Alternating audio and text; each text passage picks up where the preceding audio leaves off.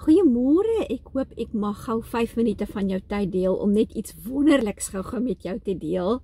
Ek en my man, ons is op pad bietjie om te gaan vakansie hou en ons het ver oggend uit die Kaap uit gery en toe ons net deur die tonnel is, toe kry ons ons eerste lorry wat sê Suid-Afrika draai terug na die Here toe met 2 Korintiërs 7 vers 14.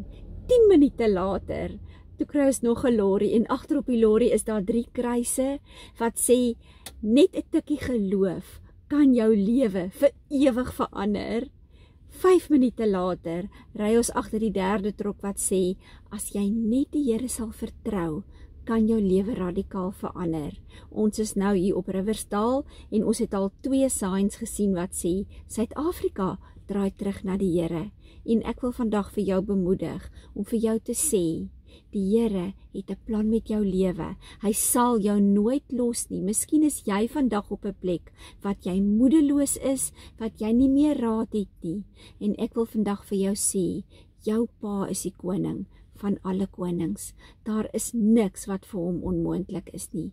Laat ek asseblief vir jou bid. Here, ek bring vandag elke persoon na U toe wat so moeg is om te sukkel, wat moeg is van swaar kry, wat moeg is van seer kry.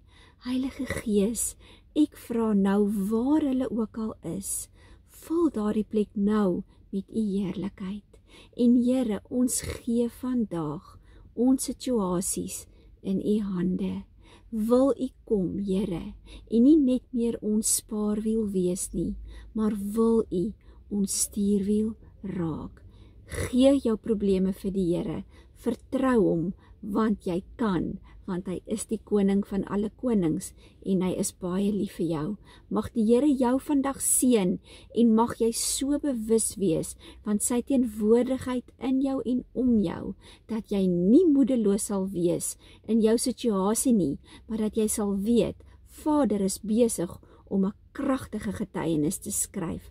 Mag jy gaan in vrede in Jesus naam. Amen. Baie dankie.